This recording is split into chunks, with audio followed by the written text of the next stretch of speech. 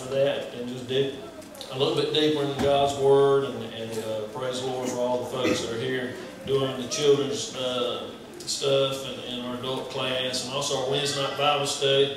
Uh, having a wonderful time with that, and uh, in the Book of Revelation, and then tonight we're continuing our study on the Book of Romans, and we've been about three, two or three Sundays just going through the introduction, and tonight we'll be in uh, the wrath of God against all ungodliness and unrighteousness. And you don't want to miss that.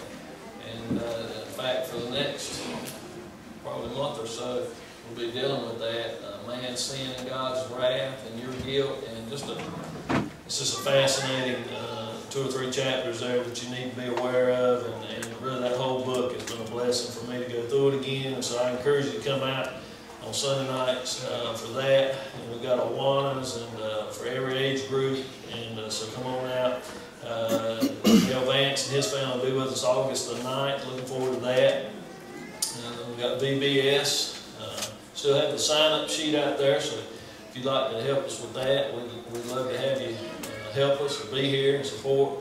And it's just a, uh, I'm just looking for a big Bible school. You never know uh, people come or not. You just uh, be obedient to God and just put it in His hands. He'll bring those uh, right kids and those right families to our church and hear the Word of God. And so, also September the 6th, I think it says on your um, bulletin, but that's uh, Sam called me. Needed to change that to the 13th. So September, it's not September the 6th, we'll revise it next. Uh, but he just called me yesterday, so after we done did the bulletins, but it'll be uh, not September the 6th, but he'll be here September the 13th. And so looking forward to Brother Sam. If you've heard him, uh, and I have for years, he's just a, uh, just a wonderful preacher, and especially on the uh, being a Jew, he's just great on that Old Testament stuff and the feast. And, uh, it's just a blessing to hear him speak about it and uh, also the Rochesters.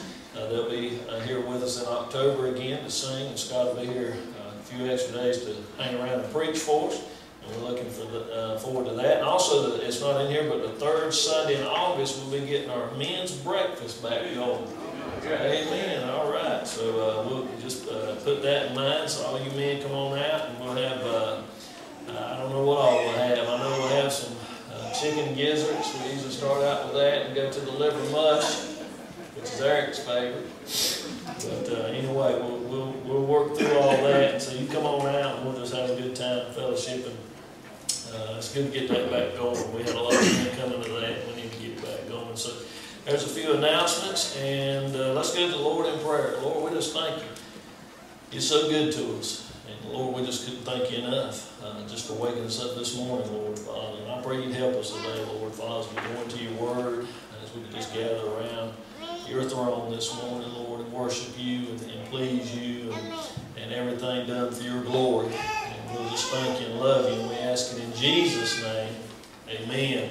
If you go ahead and stand, grab your hymn books, please, and turn to page 237. 237, tell it to Jesus. One day's going to come and lead us.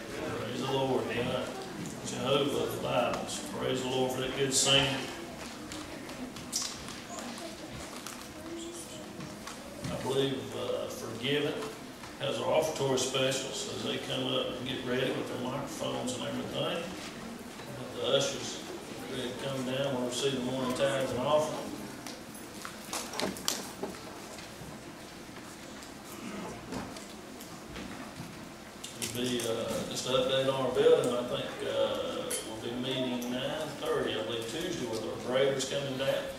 So, uh, we should be, uh, just a little ways away from starting to see some dirt moved, and I think, uh, paving company will be in here about the same time as well, working on a turning lane, and so, uh, all that seems to be clicking right along, and so looking forward to this. Hopefully, we'll have some equipment out there during VBS, so I think our theme is construction, so we just like to go all out, you know? We we uh, just get the real deal on, on VBS, so we're excited about uh, that. Uh, let's pray. Lord, we just thank you again, Lord, you've been so good to provide for us. Uh, It's nothing we've done, it's just all you, Lord, Father. So we just thank you, Lord, Father. We love you. Bless this offering. We need wisdom, and discernment, Lord, Father, to do with what you'd have us do. We're asking for that as well, and so we just love you and thank you. We ask you in Jesus' name. Amen. Counts the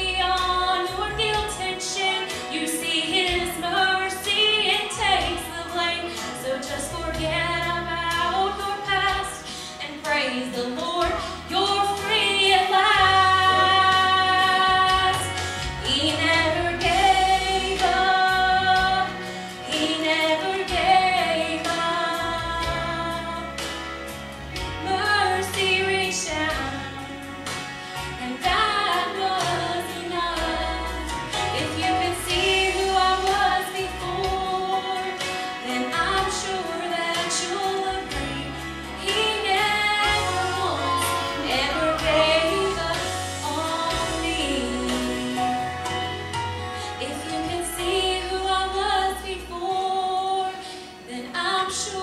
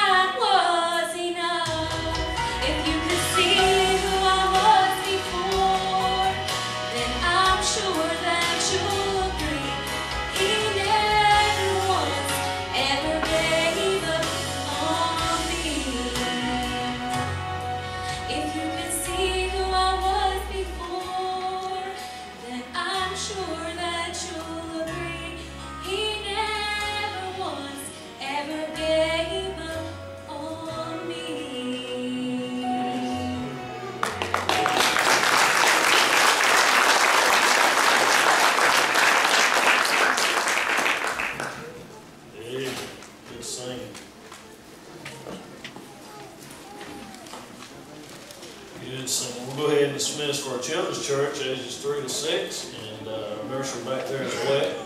So, appreciate all these little ones. What a blessing. Appreciate all the folks that help with that. I tell you, it takes a lot of work back there on Wednesday nights and Sundays. Be Mindful of that.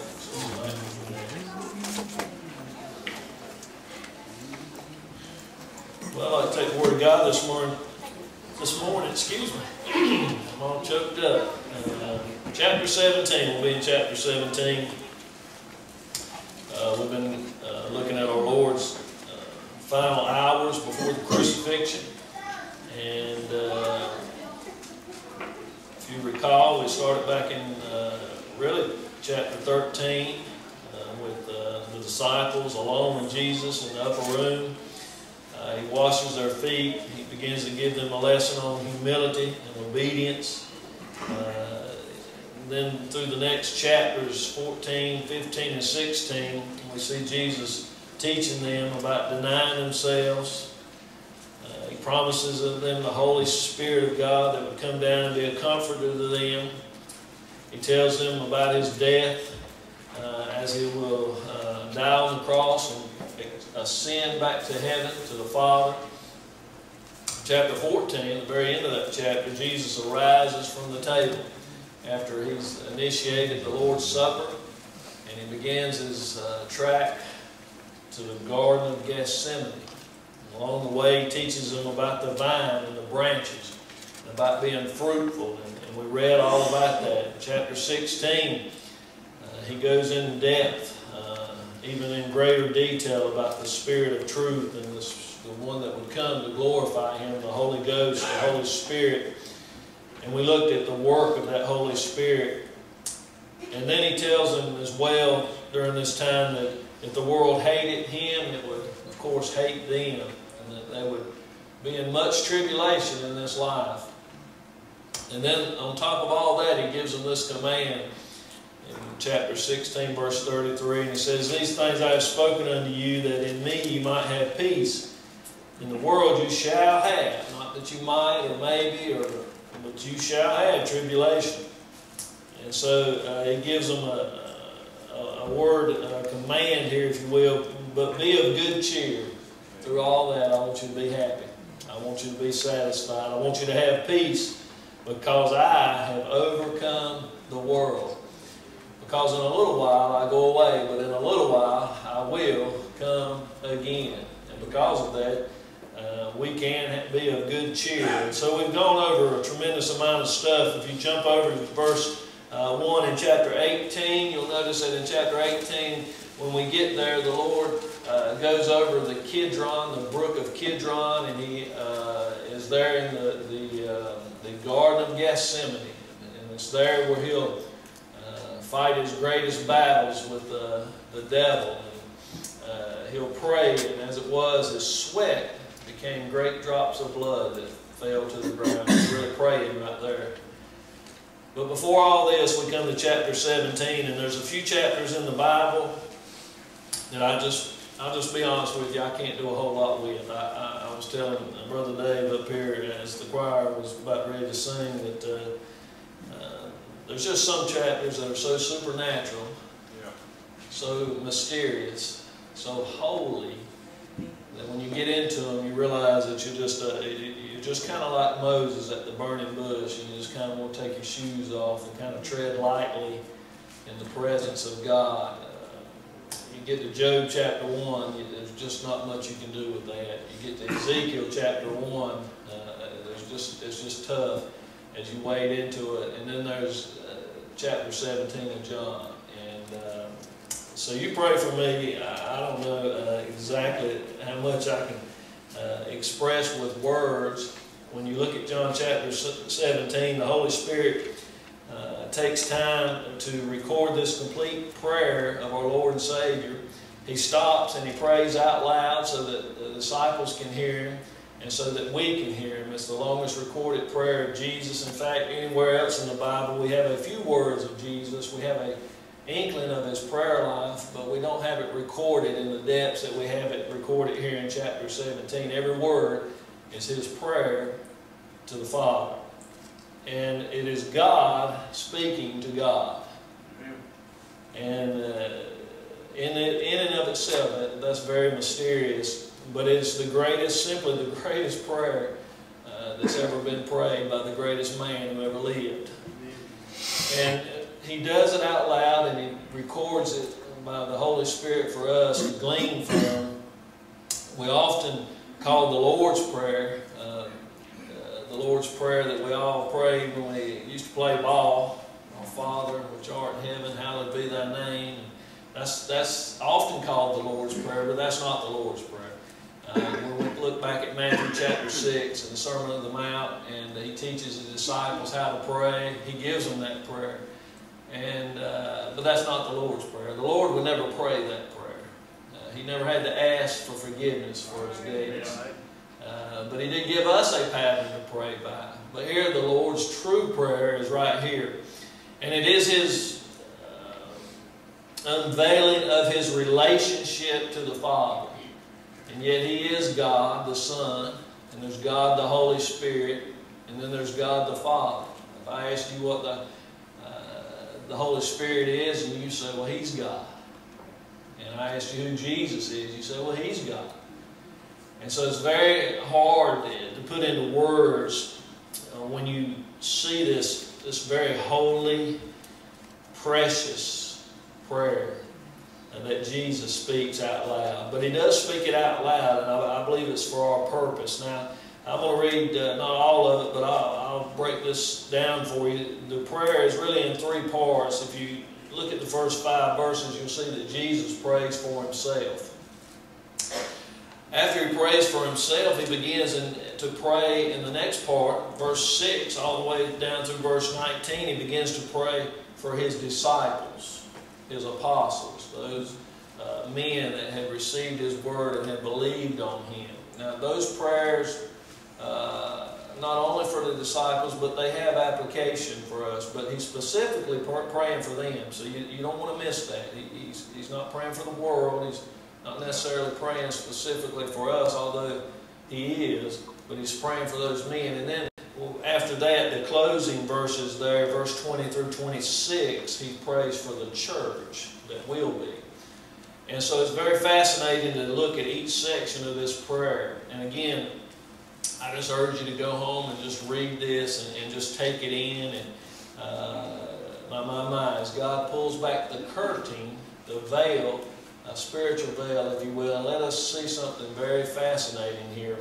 And let's just read the first, uh, we'll read the first uh, eight verses, and uh, then we'll just, uh, we'll just jump into it uh, with as much uh, reverence and prayer as we can muster this morning, and, and just let God speak to us. Chapter 17, Jesus is on his way to Gethsemane.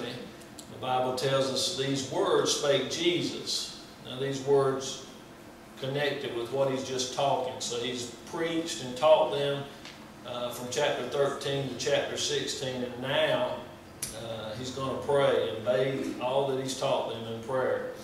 And lifted up his eyes to heaven and said, Father, the hour is come, glorify thy Son, that thy Son also may glorify thee, as thou hast given him power over all flesh, that he should give eternal life to as many as thou hast given him.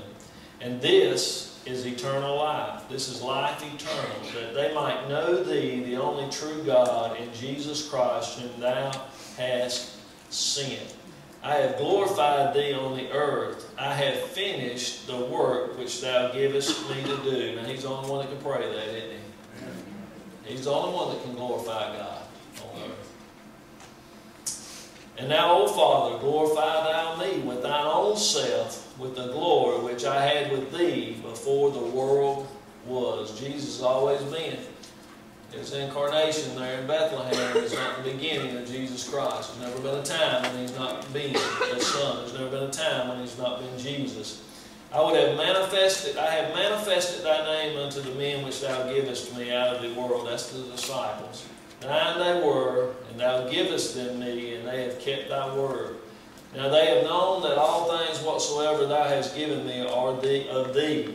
For I have given unto them the, thy- the words which thou gavest me, and they have received them, and have known surely that I come out from thee, and they have believed that thou didst send me.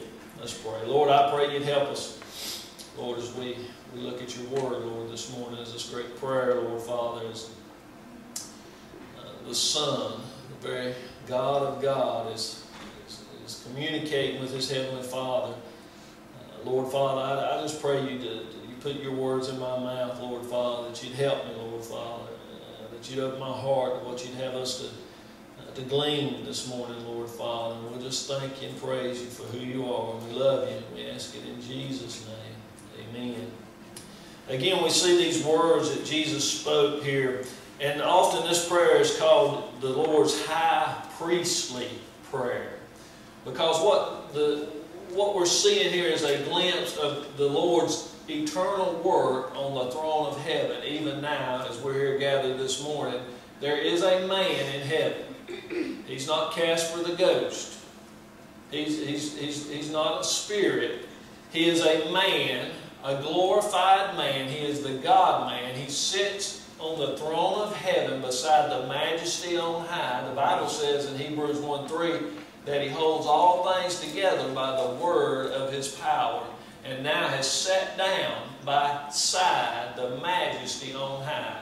He has nail-scarred hands and nail-scarred feet. He is the same Jesus that was crucified on that cross, went down to the depths of earth and descended down in there and suffered your hell and my hell, your punishment that you deserved. He died not just for you, but as you.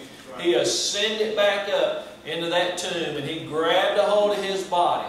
And then the body was glorified. He left those clothes laying right there because he'd never need any more grave clothes. And now he sits in heaven. And his job in heaven is to make intercession for you to the Father. And that's what he does. In fact, that is his 24-hour, seven-day-a-week job is to intercede for you. He ever lives to intercede for you. Two verses in the Bible tell us what God is doing right now, what the Lord is doing for you. Verse 8, I mean, uh, chapter 8, verse 34 in Romans says, Who is he that condemneth? It is Christ that died, yea, rather, that is risen again, who is even at the right hand of God, who also maketh intercession for us. He is our advocate. He is our lawyer. Okay? Up in heaven. We do not have to advocate for ourselves because we have nothing to advocate. Yeah, that's right. You have nothing to plead on your own merit. You are 100% guilty. But because we've trusted in Christ, we are proclaimed righteous before God. Think about that. Righteous means that the word righteous means simply that you are right with God because of Jesus. He has made atonement for you at the cross of Calvary. That word at atonement is simply spelled, it means exactly like it's spelled, at one meant. That means you have been made one with God through Jesus Christ. And He makes intercession for you. He advocates your cause. Look at uh, Hebrews 7.25. Wherefore He is able also to save them to the uttermost. Once He saves you, friend, you're saved. That's Hey, that's right. the uttermost. Okay?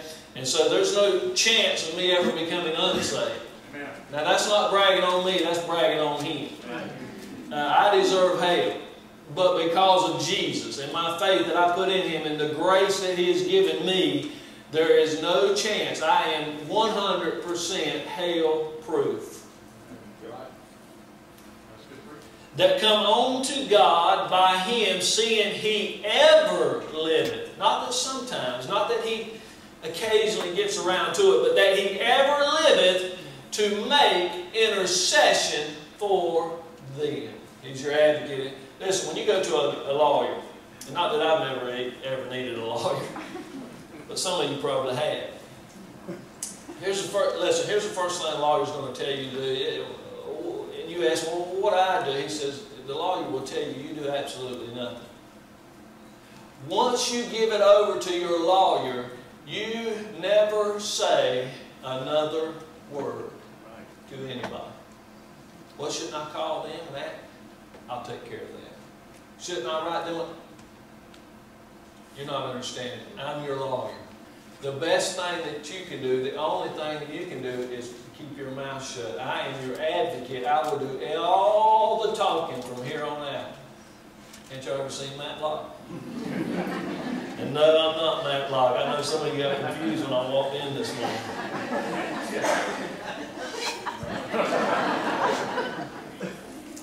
You let your lawyer take care of that. Jesus takes care of all that for you. Now, what we have here is Jesus in his intercessory work that he's doing right now on your behalf, and the curtain is pulled back, and he allows you to see what he is praying for you at this very moment. It's fascinating. And this all comes from the Old Testament illusion, not illusion, the Old Testament illustration, shadow and type of the high priest in the Old Testament. His job was to represent God to man and represent man before God. And the Bible goes into great detail in the book of Hebrews about the work of the high priest. And Jesus has taken over that work that God gave to man because man cannot fully do it. He is a sinful creature himself, and he had to make atonement for himself, and then he would make atonement for the people, and he would do that once a year on the Day of Atonement. And that would cover the people, and that would cover the sin until the next year, and it would have to be done again. And then daily, on day after day, individuals would have to come up and they would have to shed the blood of an animal. Because without the shedding of blood, there's no remissions, there's no forgiveness of sin. And so what they would do is they would shed that blood on the altar, and then once, uh, and they would sprinkle it upon the altar. But that once a year, there was a special day, that Day of Atonement, when only this high priest would go in to speak to God and make atonement for the people. He was the high priest. The very first one was Aaron.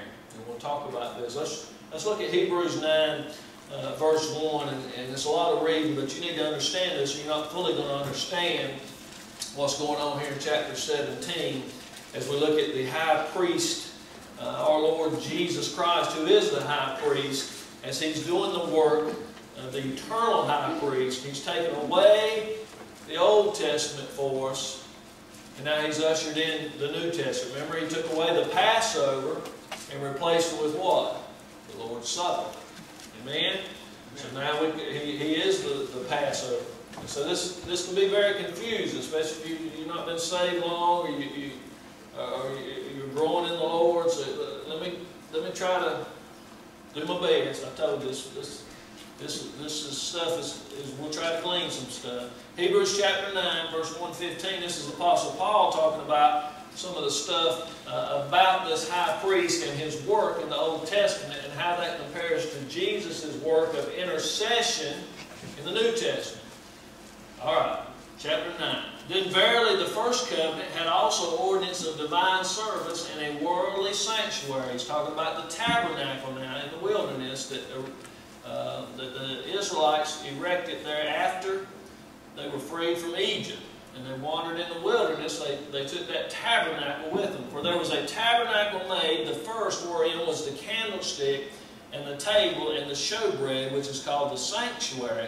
And after the second veil, the tabernacle, which is called the holiest of all. Okay? This is important. The high priest, uh, there was only one person that could go in behind that veil. Okay? Now, many of the priests would come into the first sanctuary. You had the candlestick, which spoke of the only light in the whole place. You had the, the showbread on their right, which spoke of fellowship around the table. And we've already seen Jesus in the Gospel of John telling us that He is all those things, okay? The light of the world, the only light. There it is. The, I am the bread of life, the showbread, partook by the priest. The Bible says that we are a priestly generation. We are a priesthood of believers. And so we fellowship on the bread. We have the light. All this speaks of Christ. And then right before that veil was the altar of incense where they would burn. And the Bible says that a sweet savor, a smell would rise up to the God of heaven, and it pleased him when he would smell that savor.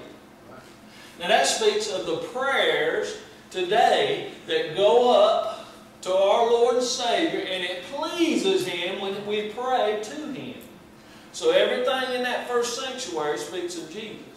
And so that priest, he would go in there and he would do his service for the Lord. But then there was a veil there. And, you know, we, we picture that as maybe just a sheet. But that veil was many inches thick. Some of the, the writers in the Hebrew say that veil was six inches thick of the toughest hide and leather that they could find. Almost impossible to put a tear in. And so this is the scene that the Hebrew writer is talking about. And he says, inside the holiest of all, where the high priest would go, which had the golden censer and the ark of the covenant, overlaid round about with golden worm was the golden pot that had manna, and Aaron's rod that budded, and the tables of the covenant. God's presence was in one place right there. He would abode in the holiest of alls on that day of atonement, right there on what the Bible calls the mercy seat. And on the side of those mercy seat was those cherubims. And you may have seen a picture of it. And on below what the mercy seat sat on was what they called the Ark of the Covenant. You know that thing Indiana Jones tried to find in the first movie? Now, inside that ark was the law, the two covenants, the two tables of the law, the Ten Commandments, Aaron's rod that had budded, the dead rod that had come back to life. You with me on that? So we have the law that was broken by us, but that was completely fulfilled by Jesus Christ. We have a dead stick that was dead, but now is alive again. Okay? And then we had a jar, a golden censer full of manna inside that Ark of the Covenant. The bread of life. And now what the Bible tells us is, if we were to read back in Leviticus chapter 16, and if you read back, and I, you probably had that for your devotion this morning, Leviticus. Leviticus 16, Leviticus chapter 23, and if you would have read in Exodus 28 this morning, and I know most of us did because we were preparing for John 17. and you put that all together, you get the you you get the process of what took on on that day of atonement. Okay, and this allowed for the atonement of man, and this is the intercession that Jesus foreshadowed and fulfilled. And that's why this prayer is so holy to hear Him and what He is talking to God about, about you and I this very moment. Now, let me, let me finish the, the type here so you'll know what's going on. The high priest would come on that day and he would take, uh, he would take his garments off. You remember his holy garments? He had a turban that said, Holiness unto the Lord. He had uh, the names of all the tribes on his shoulder, and then he had Israel's names, had them right here on his heart, and he carried those around everywhere he went. And on the Day of Atonement, he would take all that off, and he would just put on one white linen garment. And he would prepare himself to enter into this Holy of Holies. Can you imagine the fear that day? If Aaron don't get this right, he's not coming out alive. If Aaron doesn't get this right, we're not atoned and we're in big trouble. And so two million people are waiting outside this tabernacle and they're gathered around and they're praying and they're sweating and they're wringing their hands and they're saying, Aaron, don't let us down. We need you today. What a day it was, the most solemn day of the year for these folks. And so what he does is he goes over here and he has one of the priests bring him two goats. Two goats. And one goat is going to be used for the blood. One goat he's going to slay. One goat he's going to kill on the brazen altar. One goat he's going to take that blood and he's going to march in uh, in reverence and humility and he's going to go into the holiest of alls where no man can tread.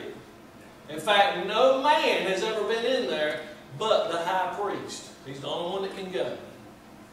The second goat, he lays his hands on him and confesses the sins of a nation on that goat. And he transfers by the laying of his hands all that sin on that one goat. And then the Bible says a very fit man comes along and takes this goat and takes him out into the deepest wilderness that he can find, leaves him out there, and they never see that goat again. In other words, every sin that was placed on that goat is taken so far away. You might say it was taken as far away as the east is from the west. It would almost be like taking your sins and casting them into the depths of the sea. Well, one of you is with me. But anyway, that goat is never seen again. Those sins are to be remembered no more. But then he has this goat over here. And he takes that blood. And he comes in behind this veil. Okay? And in a few days, there'll be some blood that will be shed. And there'll be a veil on earth that will be rent from top to bottom. Amen. And the veil will be taken away that all those who trust in Christ can now enter in to the holiest of all through Jesus Christ, where no man could enter in before. Well, he's been at this all day as a high priest.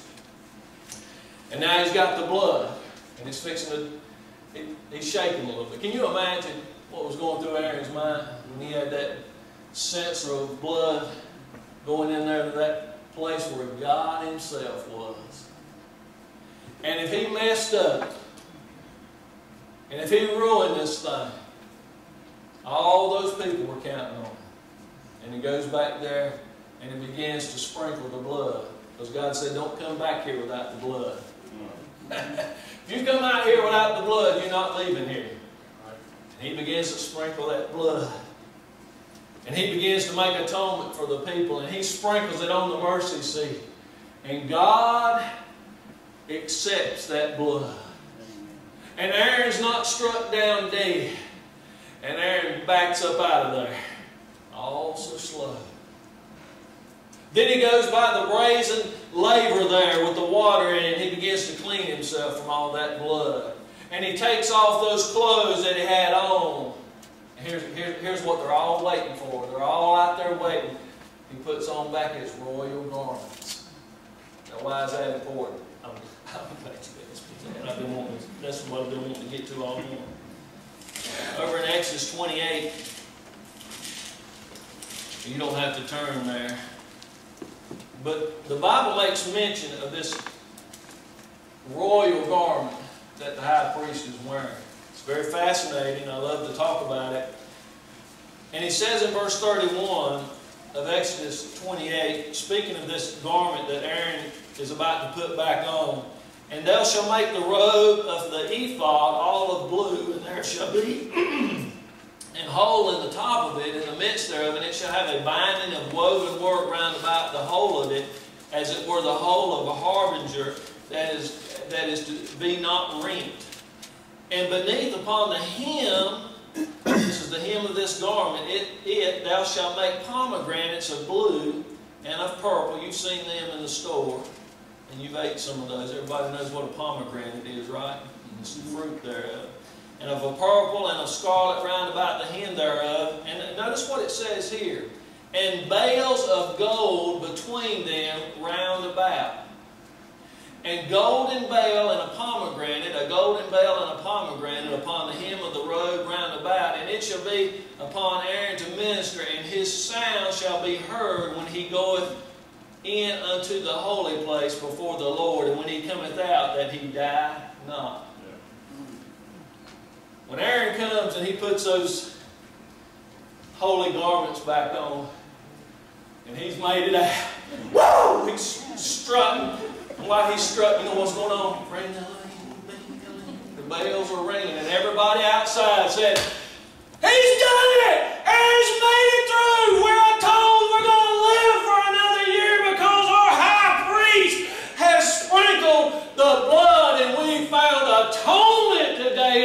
forgiveness. And I'm telling you, there's one high priest, when he shed his blood and they stripped him of his garment, he came back and put a royal garment of flesh on him. the veil has been ripped from the top to the bottom and you can now go into the very presence of God.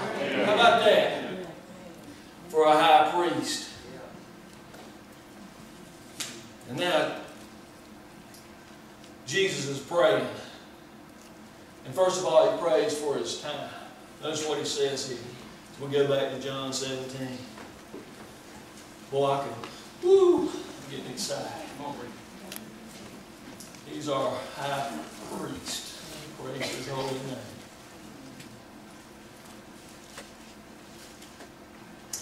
These words spake Jesus and lifted up his eyes to heaven and said, Father, the hour is come. I want to tell you, the cross was not an afterthought. God didn't look down and see Adam and say, oh, I didn't think he was going to do that. Now what am I going to do? But somewhere in eternity past, God always knew. Right, big cow.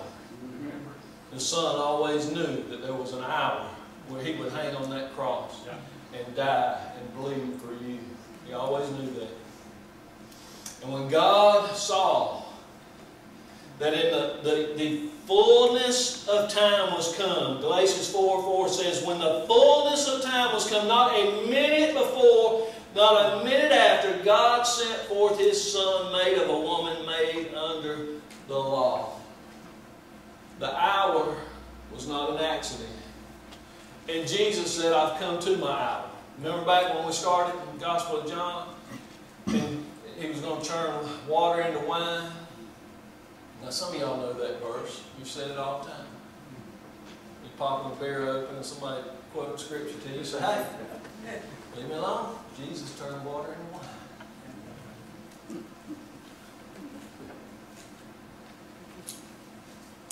And his mom come to him and said, We've got no, we've got no wine. He said, Woman,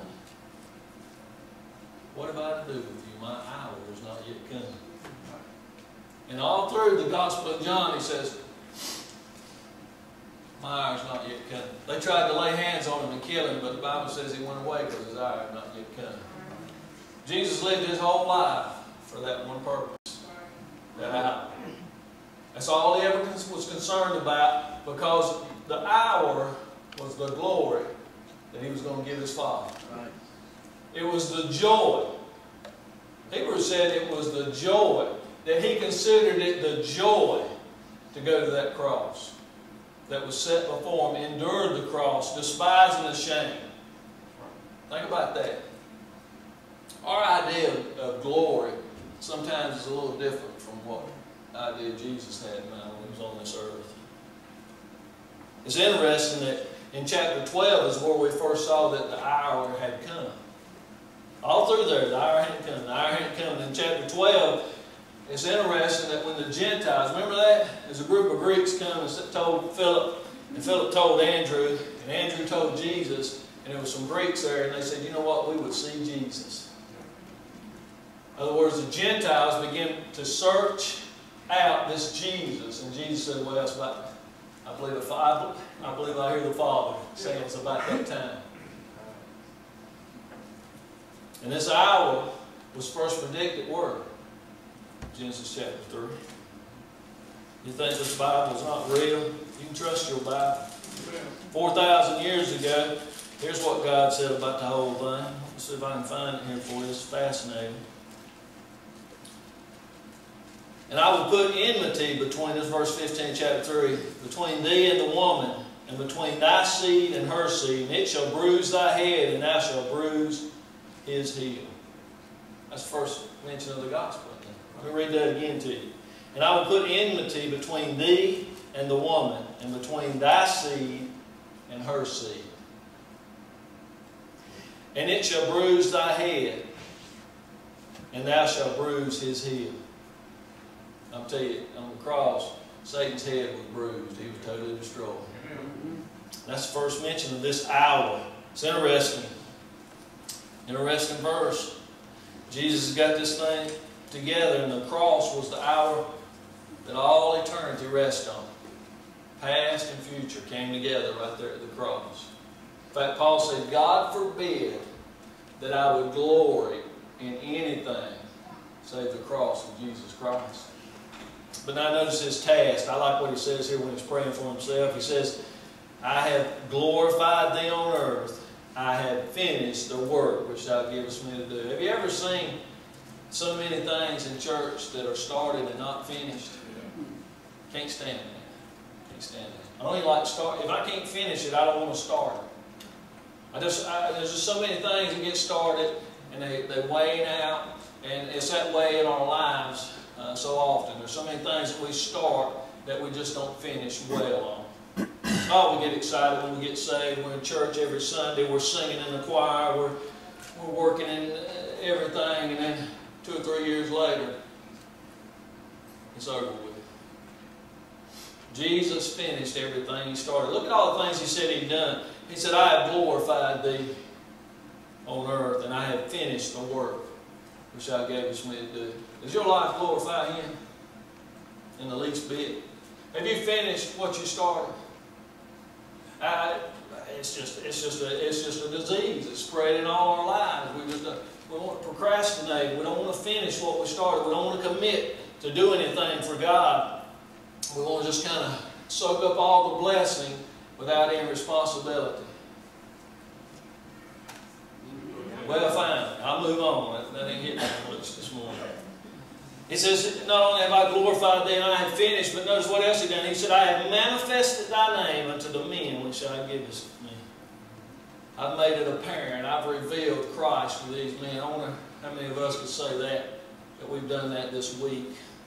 That's what else he says. We didn't read this verse, but in 14, he says, I've given them thy word. I've given them thy word. Jesus did a lot while he was here on earth. And he was about to do even more. Not only was his time at hand, not only is his task finished as he prays these first few verses, but notice his treasure. I like this one. This is my, my favorite one. I'll, I'll close with this. It's interesting to note how many times that Jesus that was that that there was a gift given to the Son by the Father. Now, follow me on this.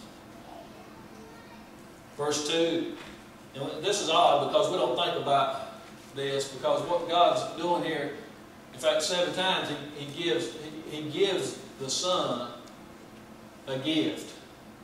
Now that's unusual. That, that the one that created all things and was created for him. Uh, he has he hung the earth out on nothing. Doesn't think he needs anything or would need a gift, but we're going to see that he gets a gift, and it's mentioned seven times. We don't think about that because John three sixteen tells us that Jesus is the gift to you and to me and to a lost and dying world. He's the gift.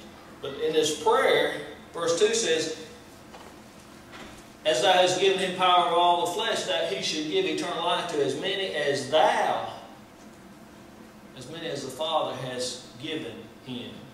Verse 6, Thou givest them me. Verse 9, Which thou hast given me, for they are thine. Verse 11, Thou hast given me, that, me, that they may be one as we are. Well, I can stop right there. That's what I thought I was going to finish up here, but just, just,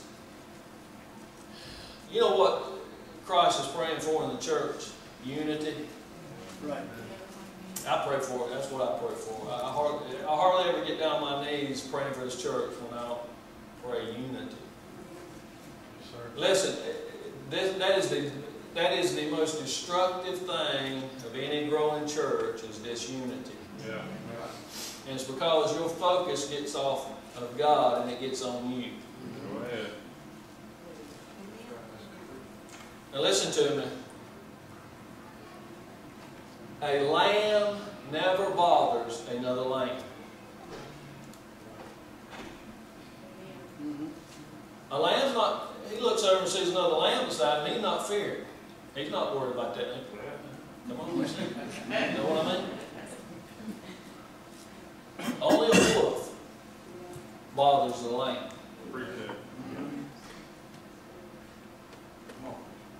Let me move on. Verse 12. Those that thou gavest me, I have kept. Praise the Lord. Don't you think that if Jesus prays, that everything he prays, the Father's going to answer yes? Come on, man. I tell you, this is good stuff. Verse 24. Whom thou hast given me. God the Father gave you the greatest gift that there could ever be. He gave His Son for you. And in turn, the Father gave the greatest gift to His Son that His Son could ever receive, and that's you. And seven times in that one prayer, He says, Father, look what you've given me. Look what you, I mean, He is thankful seven times here that God gave me to Jesus as a gift. Through faith, I trusted Him. And now I belong to Him. And, and the Lord in His high priestly prayer of intercession says, I want to thank you for that one right there. The God who slung the world and the stars and the galaxies that you can't even fathom out on nothing, who runs everything on a perfect timetable. The sun is never where it's not supposed to be. The earth is never where it's supposed not to be. There is nothing that doesn't run because of the word of His power keeps it all together. And yet it was precious to this Son. It was precious to the one who every knee will bow and every tongue will confess that He is Lord. It means something to Him to have you.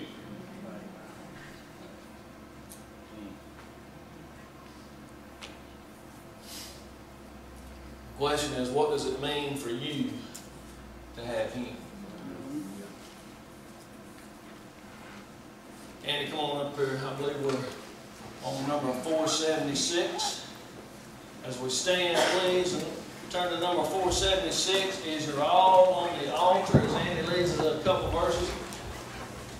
I don't know what you're going through this morning. I felt very heavy uh, as we were singing those songs, which I usually don't do, uh, and somebody's spirit maybe bearing witness to my spirit. I, I don't know what you come in with or, or what you feel like this morning, but I'm telling you, when God opened his mouth to God, he said seven times, it's mighty good that you've given that person to me.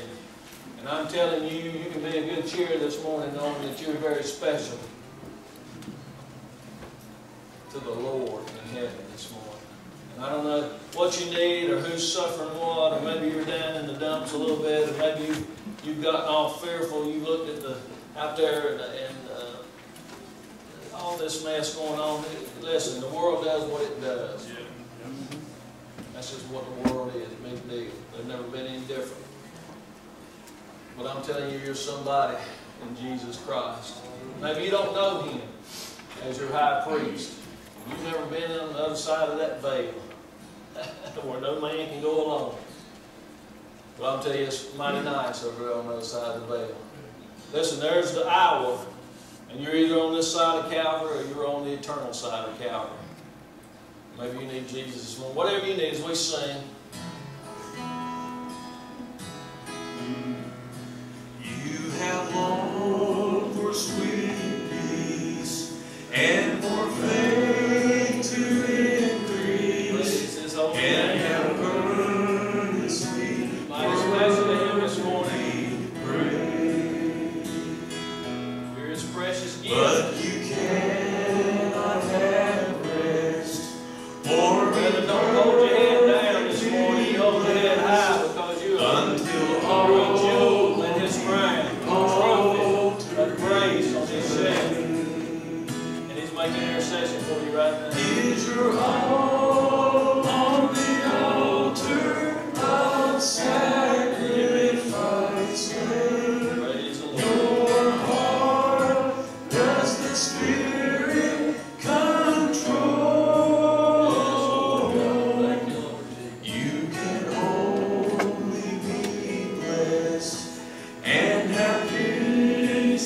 peace